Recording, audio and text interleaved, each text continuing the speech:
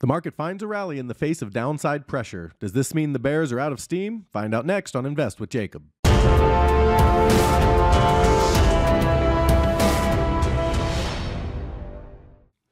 Okay, guys, so the market was about to break a key low today when the Bulls found a rally and pushed it 37 points to the positive. They continued pushing after hours, and now the Bears' backs are against the wall a little bit. The Bulls still have some work to do, but they have an opportunity if they want it. Now, I'll get into all that in just one second, but first, if you're new here, welcome to the show, guys. My name is Jacob Gabbard, and this is Invest with Jacob, where we use Elliott Wave Theory to break down the NASDAQ and S&P 500. I highly encourage you to hit that subscribe button down below so that you can get our daily S&P updates, our trade setups, and our buy alerts. Okay, guys, so with the Bulls pushing higher today, they have a chance to take control of the market. So let's jump into the charts and take a look. Okay, guys, so here we are on the one hour futures chart for the S&P 500. And today we're going to do something a little bit different. We're going to talk about key levels and how to find them. And I've taken a lot of the extra ABCs and one, two, threes off of the chart because I know that gets very confusing for some of you, especially when you get, you know, wave three of three of C and into that kind of thing. So today we're going to keep it simple and I'm going to show you how to find these key levels. And then, okay, once the market clears up here a little bit and gives us a path that we can kind of rely on a little more, we will fill in that path. And that way it should be cleaner and simpler to follow. So, since the Bulls are trying to take control of the market, let's look at their key level to the upside that they want to break through and the Bears want to hold. To get that, we use our fib retracement tool and we come to the top of the wave here and we trace it down to the bottom of the wave. Okay? And so we come from the top to the bottom, and that gives us our fib levels.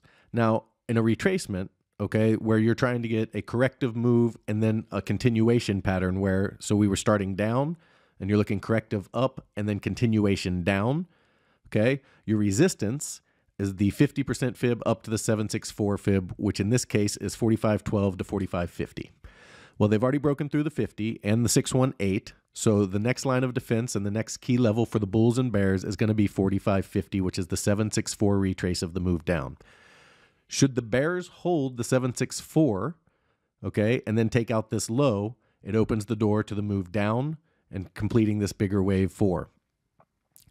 If the Bulls are able to push through that, okay, if they push through the 764 here at 4550, then it becomes much more likely they're going to attack this high and try to break through that. Now, it may not be directly. They may push up, you know, through the 764, pull back, and then come back and attack it again, and then take out that high. But that would be the uh, likely scenario if they broke 4550. So 4550 tomorrow is our key level for both the Bears and Bulls to the upside. Now, if they hold 4550 and they start to move down, then the key level becomes Friday's low here at 4439, might be 4438, but right in that region, whatever this low was. If they take that out, that opens the door to the downside and a big move down for the Bears. So for the Bulls to take control, they need to break 45.50. For the Bears to take control, they need to break 44.40. Now, if you're wondering about an upside target, if the Bulls are able to break through, okay, you get that with a slightly different tool. It's over here in TradingView, and it's called the uh, trend-based fib extension tool. So off of this low, okay, you'd come up to the high that you would consider wave one, and down to the bottom of wave two, and that gives you the fibs that you can see up here uh, that we have labeled. Now, a common target for wave three is this 1618 fib at 4644. So should the bulls break through 4550, okay, again, we may get a pullback and then a move up, but the ideal target then for wave three would be this 4644 area. And that's what the Bulls would be looking to do if they can break through 4550. Again, though, if they can't break the 4550 area and they start to move down, this 4439 area is key.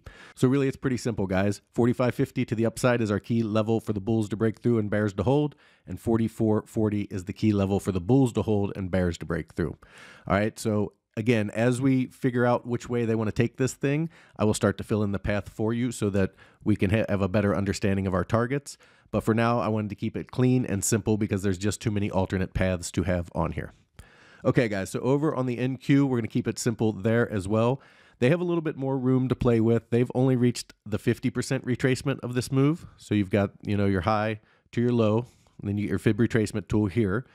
Okay, so they've only reached the 50% retracement. So that's just the bottom of the resistance box. They can push it all the way up to 1550.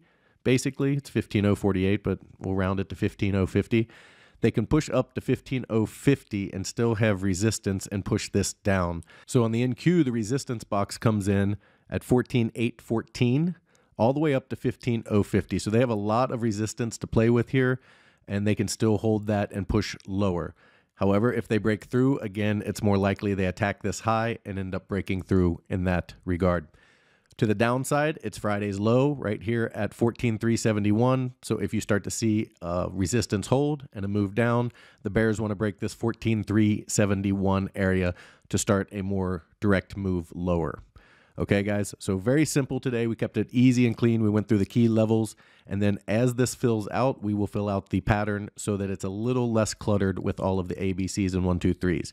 Again, key resistance here is 14,814 up to 15,048. And then if you see a move down, they need to hold 14,371. Otherwise, it opens the door to a bigger down move.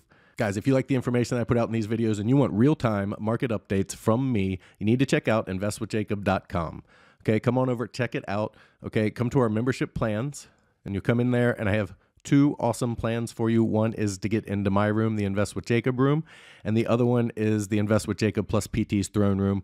If you don't know anything about PT, he's one of the best traders I've ever been around. He blows the market out of the water and guys, you get a seven day free trial. So come check it out, kick the tires. If you don't like it, no big deal. You can cancel it, no cost to you, but just worth checking out and seeing what we're all about over here.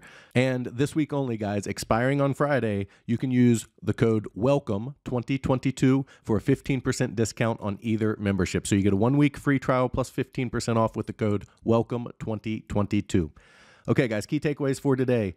On the S&P, we're watching two key levels, 45.50 to the upside because that's the 764 and 44.39 or Friday's low to the downside. If the bulls can break it to the upside, we have a setup to go towards that 46.44 area at the 1618. And if the bears can break it to the downside, it opens the doors to a bigger move down. On the NQ or the NASDAQ, your resistance level is 14,814 up to 15,048.